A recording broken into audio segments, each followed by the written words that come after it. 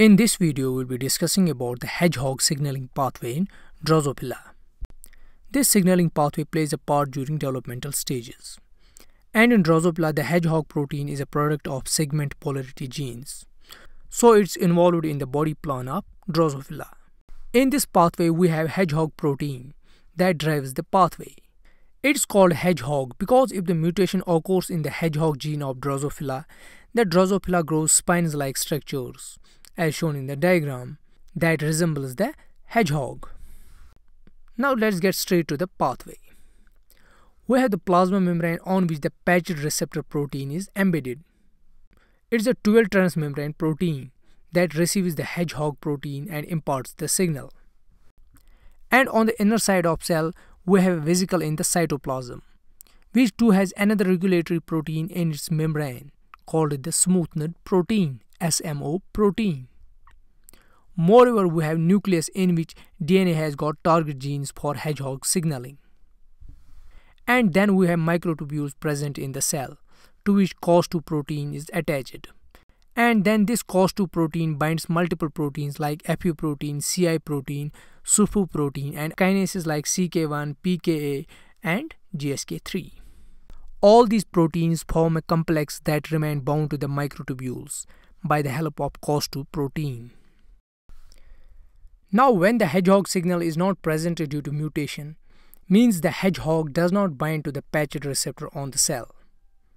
The absence of hedgehog causes the patched protein to send the inhibitory signal towards the vesicle, where smoothened protein SMO gets inhibited.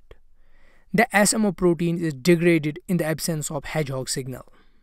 After that, the three kinases CK1 kinase, PKA and GSK3 phosphorylate the CI protein.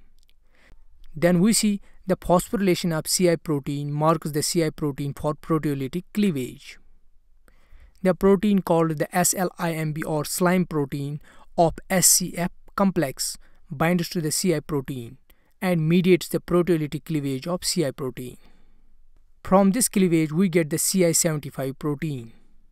And this CI75 protein is also called the CIR or CI repressor which then gets into the nucleus where it targets the DNA and acts as a transcriptional repressor for hedgehog signaling genes.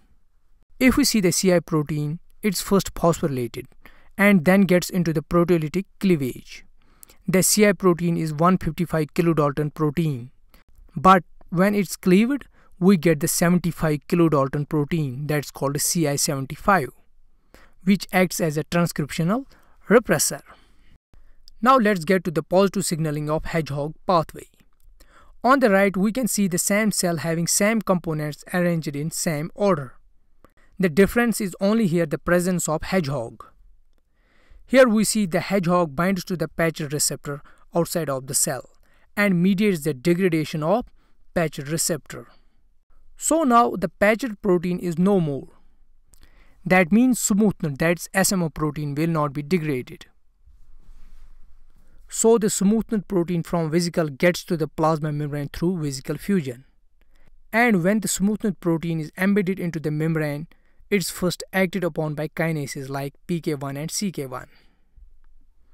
These kinases phosphorylate the C-terminal domain of smoothened protein, as shown in the diagram. The kinase complex also phosphorylates the COS2 and FU protein. Now the phosphorylated smoothened protein recruits COS2 protein and FU protein towards itself. And these events lead to the dissociation of COS2-CI complex.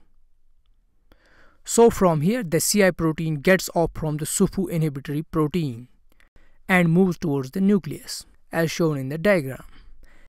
This non-cleaved CI protein that CI155 protein gets to the nucleus and combines with CBP protein there and then targets the same hedgehog signaling genes where it acts as a transcription activator. So this leads to the activation of hedgehog signaling genes in the cell. So this is all about hedgehog signaling pathway in Drosophila. I hope you like the video. If you like it, give it a thumbs up. Do consider supporting my work on Patreon and also make sure to subscribe this channel. Thanks.